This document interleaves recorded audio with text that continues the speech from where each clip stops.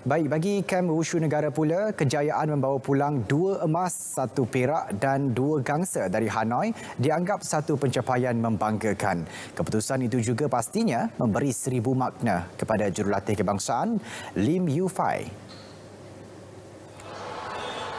Lebih membanggakan, pencapaian dua emas diraih skuad wushu di Hanoi juga menjadi pencapaian terbaik di bawah bimbingan Yu Fai. Actually, uh, the, the medal, I rasa, uh, for me, is not the most important thing. The most important thing is mereka punya performance. Yes, I am a bit, uh, I, I happy. Some of the athlete, mereka tak ada mistake, tak ada deduct point. But some of the athlete, dia, dia ada mistake. So we, we need to learn from the mistake and then come back.